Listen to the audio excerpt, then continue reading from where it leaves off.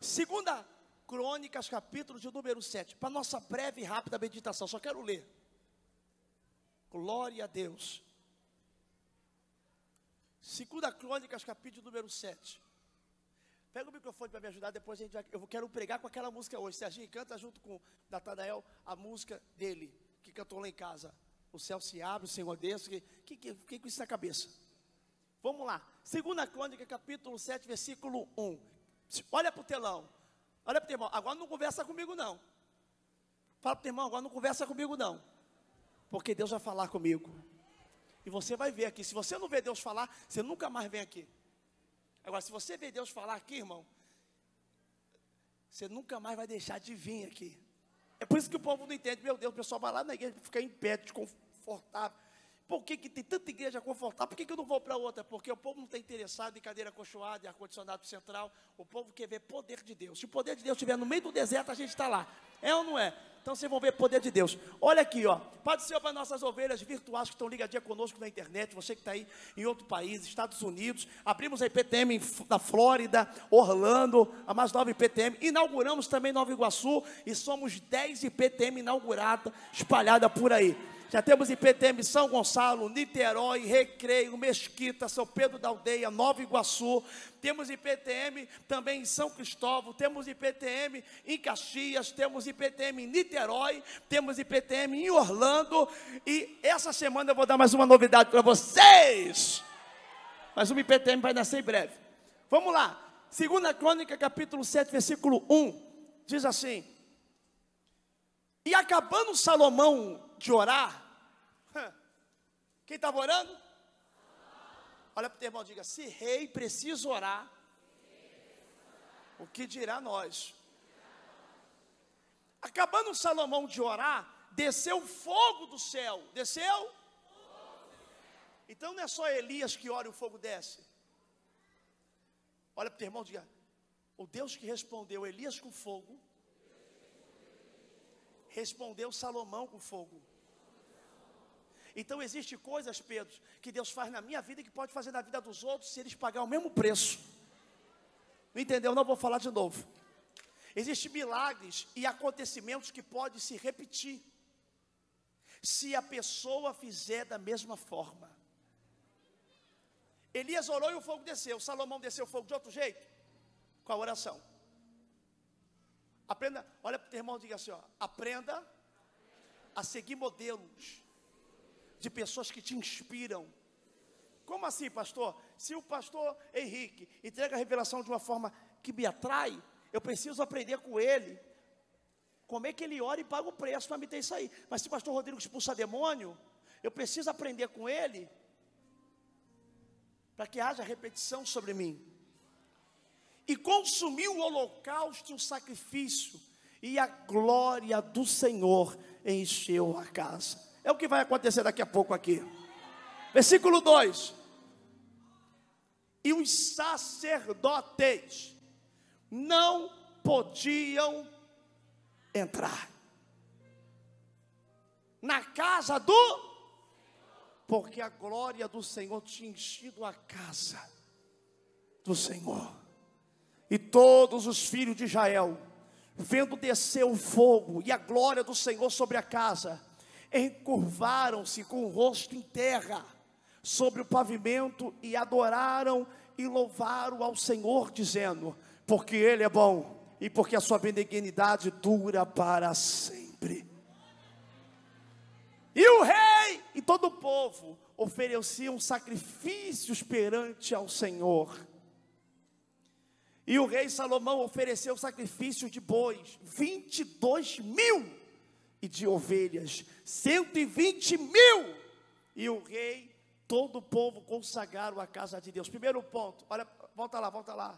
Diga assim, ó, para o fogo descer, o segredo não estava na oração bonita de Salomão, mas na fé do sacrifício. Sabe por quê?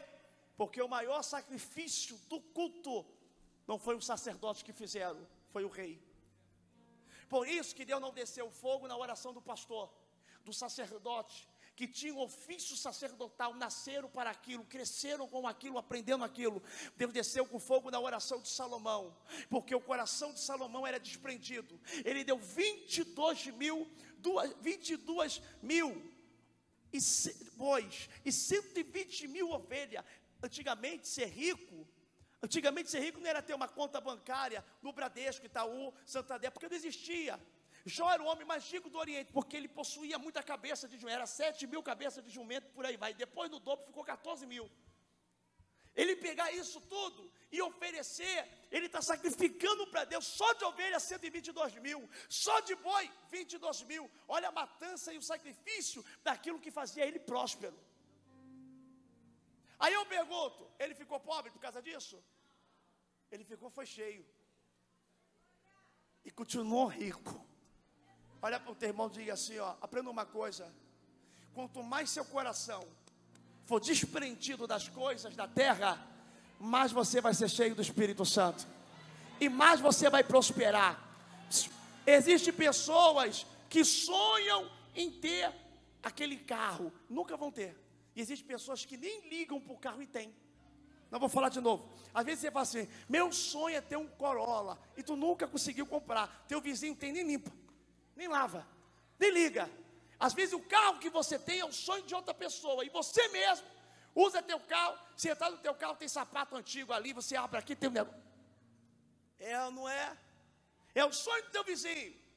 O coração dele está nisso, porque eu aprendi uma coisa: quem tem ambição para conquistar coisas da terra, quando conquista, perde rápido. Você já reparou quando você dá muito valor para uma coisa? É tipo machucado. Você machuca o dedo, nunca machucou, mas machucou agora. Tudo que você encosta, tu machuca teu dedo de novo.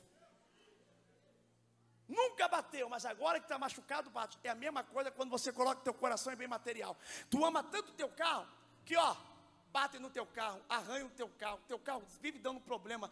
Tudo acontece para o teu carro não ficar intacto. Já reparou? Parece uma prova. Teu carro parado, estacionado, bate no teu carro.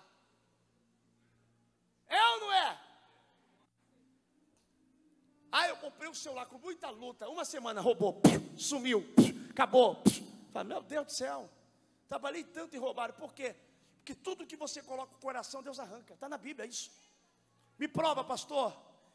Abraão fazia altares para Deus de sacrifício. Três. Um, dois, três. O sonho dele era ser pai. Quando Isaac nasceu, ele parou de fazer altar. Deus falou: Ah, é? Me dá Isaac de volta aqui, ó. Prepara um altar e bota no Monte Moriá que eu quero ele. Mata teu filho.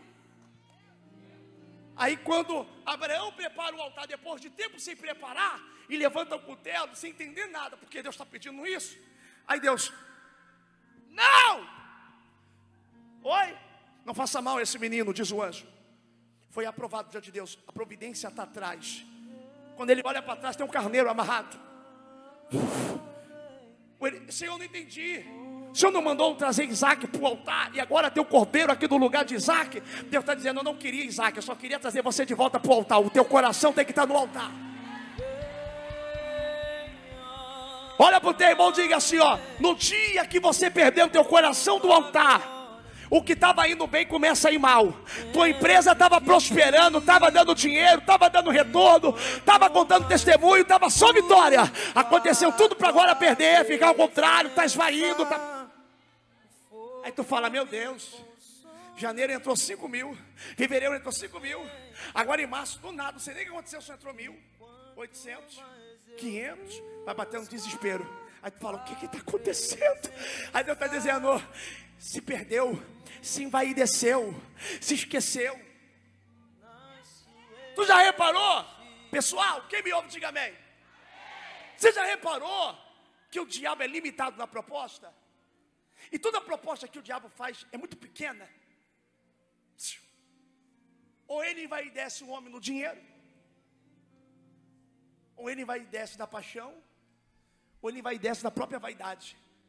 Absalão ficou cego por causa da vaidade. Porque ele já era príncipe, repita, príncipe. Príncipe come comida de rei.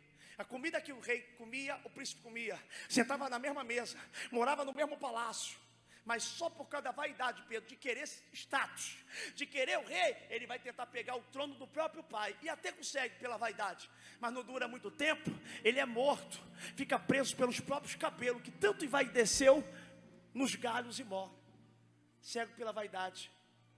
O que ele queria ter, não teve, ainda deixou de ter o que tinha. Olha para o irmão, a vaidade não dá o que você quer, ainda perde o que você tem. A vaidade não dá o que você quer, ainda perde o que você tem. Sansão tinha que casar com alguém da sua, do seu local. Ele quer casar com Dalila, cego pela paixão. Acabou perdendo a aliança com Deus.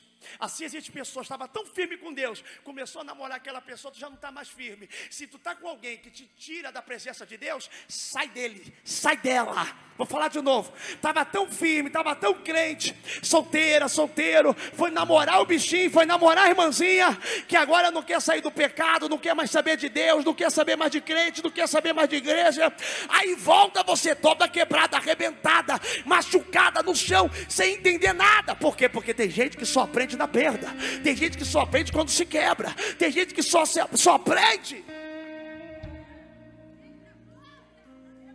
Só que Deus vai abrir a tua visão, porque Deus está dizendo: acima do teu casamento eu estou, acima do ouro e a prata eu estou, acima da tua vaidade eu estou. Pastor, não entendi. Vai um segredo para você, Davi. Davi é casado, a mulher que se meter na presença dele com Deus, olha, tu dança como um vadio qualquer. Ele vai falar: cala a boca, mulher. Na presença do meu Deus, mais desprezível e miserável, poder me fazer, eu faço. Não se mete, não. Abriu, a glória desceu Vem sobre nós, Senhor. Vem sobre nós. Escute. Outro exemplo foi Jó. A mulher olhou para ele e falou: Amor, o maridinho, amaldiçoa o teu Deus e morre. Ele vai dizer: Tu está falando é como uma louca, tá maluca? Fala do meu Deus, não. Deus me deu, Deus tomou. Bendito seja o nome do Senhor. Quem está recebendo, diga amém. Quem está entendendo, diga aleluia.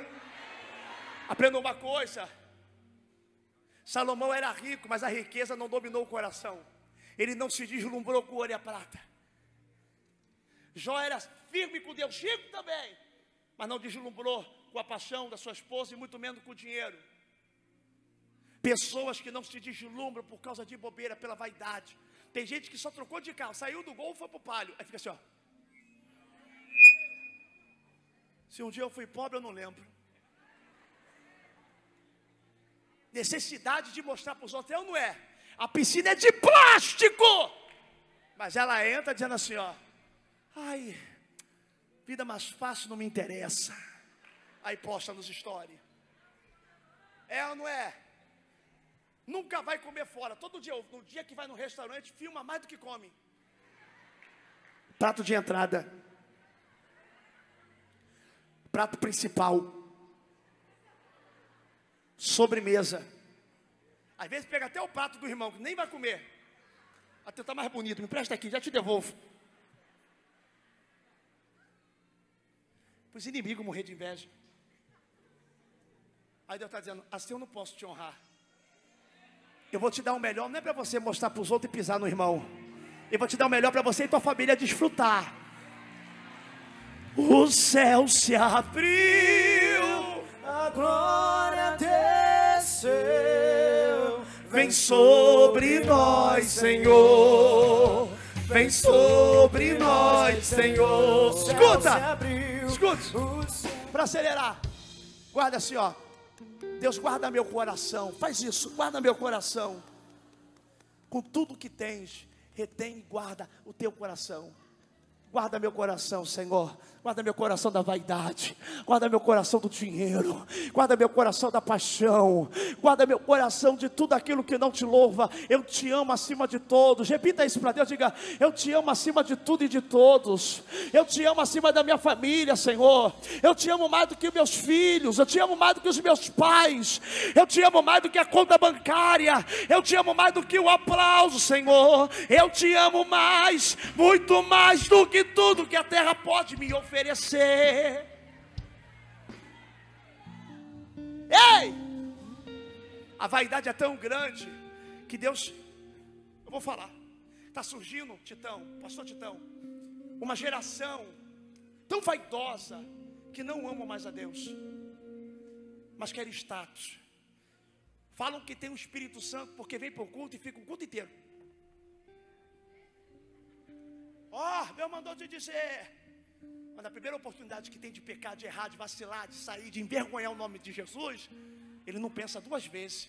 Cadê o Espírito Santo que faz? Ser cheio do Espírito Santo não é a quantidade de horas que eu falo em língua. Ser cheio do Espírito Santo é ter uma paixão por Ele tão grande que quando vem aquilo que a minha carne quer, eu falo assim: ó, eu quero, mas não vou, eu quero, mas não posso, eu quero, mas não vá. Por quê? Porque não louva a Deus, não engrandece.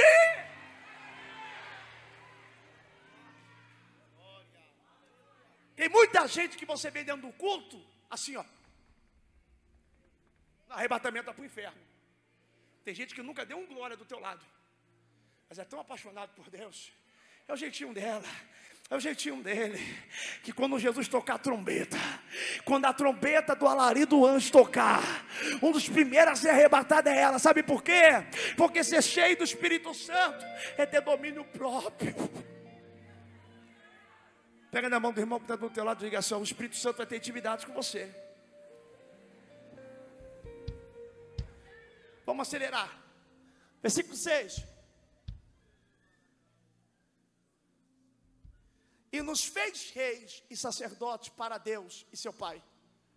A Ele seja a glória, o poder para todos sempre. Amém. Sete. Vai, telão.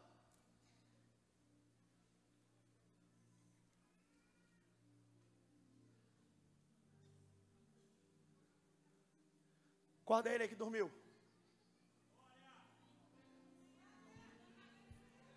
Oi? Eu estou falando da volta de Jesus, mas não é agora para o Apocalipse, não, irmão. Jesus da glória. Dá vitória para o filho, viu? Falei, Jesus e aí botou Apocalipse. E Salomão santificou o meio do átrio que estava diante da casa do Senhor, porquanto ali tinha oferecido os holocaustos e a gordura do sacrifício pacífico, porque o altar de metal que Salomão tinha feito não podia caber os holocaustos, ou seja, o altar ficou pequeno para tanto sacrifício. E a oferta, alimento e a gordura. Versículo 8. E assim, naquele mesmo tempo, celebrou Salomão a festa por sete dias, e todo Israel com ele, uma grande congregação, desde a entrada do Ramate até o rio do Egito. E no oitavo realizaram uma assembleia solene, porque sete dias celebraram a consagração do altar e sete dias festa. Está terminando, olha só. E no dia vigésimo terceiro do sétimo mês, despediu o povo para suas tendas, alegres, de bom ânimo, pelo bem que o Senhor tinha feito a Davi, a Salomão e ao seu povo Israel. Assim Salomão acabou a casa do Senhor e a casa do rei. Tudo quanto Salomão intentou fazer na casa do Senhor e na sua casa, prosperamente o efetuou. De novo, tudo, volta lá, volta lá. Tudo quanto Salomão intentou fazer na casa do Senhor e na sua casa, prosperamente o efetuou. Quando eu cuido da casa de Deus, Deus cuida da minha. Quando eu efetuo na casa de Deus, Deus efetua na minha.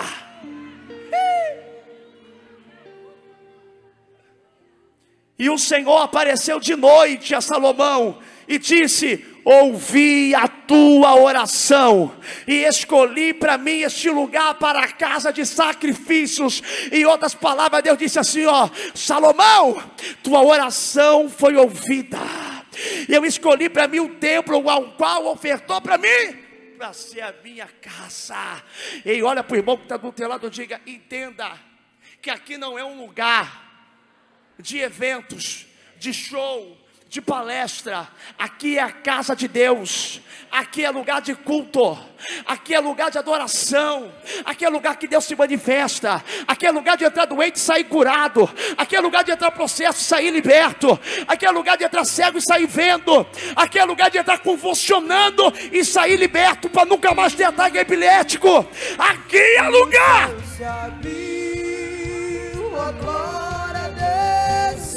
Oh! Vem sobre nós, Senhor. Vem sobre nós, Senhor. Eu consigo entender. Eu consigo entender. Porque a Bíblia vai dizer: uma coisa eu peço ao Senhor e eu buscarei que eu possa morar todos os dias dentro da tua casa. Porque a casa de Deus é o melhor lugar ainda para que possamos ir. Olha para o teu irmão e diga assim: ó, Deus quer você mais na casa dele. Está na hora de fazer a obra na casa dele. Fazer a obra de Deus na casa dele não é só comprar um ar-condicionado, ou dar uma oferta para botar um ventilador, ou ajudar na galeria. Tem gente que não tem condição.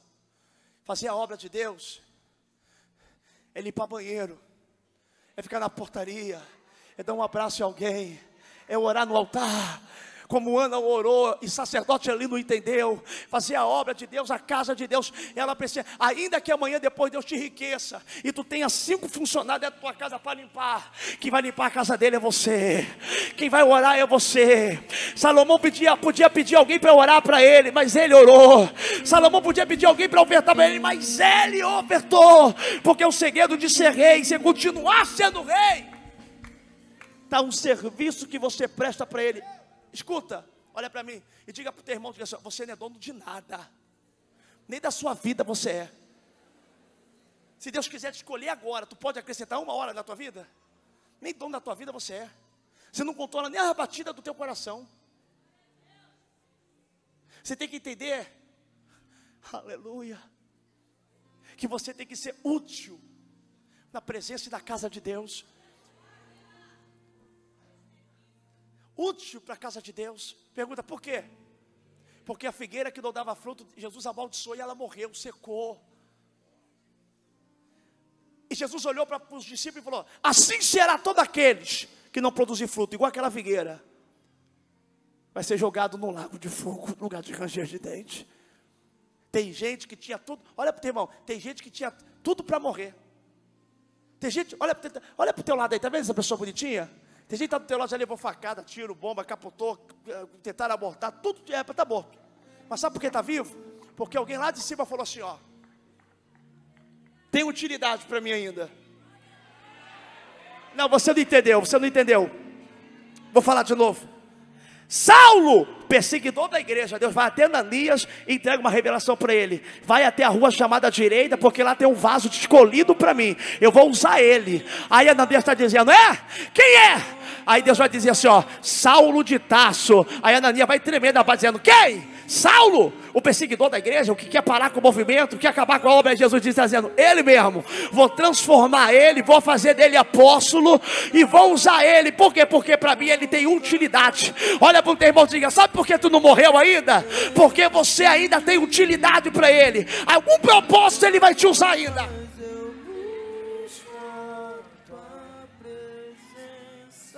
Pergunta, por quê? Porque Deus só vai colher Paulo quando Paulo fala: combati o bom combate, guardei a fé e encerrei a carreira. Aí ele encerra a carreira, guarda a fé, Deus colhe. Enquanto está vivo, está sendo útil, está fazendo a obra. Aleluia. Moisés já era envelhecido, mas ainda profetizava. Débora tinha 91 anos, mas ainda profetizava. Com Deus não tem plano de aposentadoria, aposentadoria no céu. Enquanto houver vida na terra, tu pode ter 120 anos, Ele vai te usar.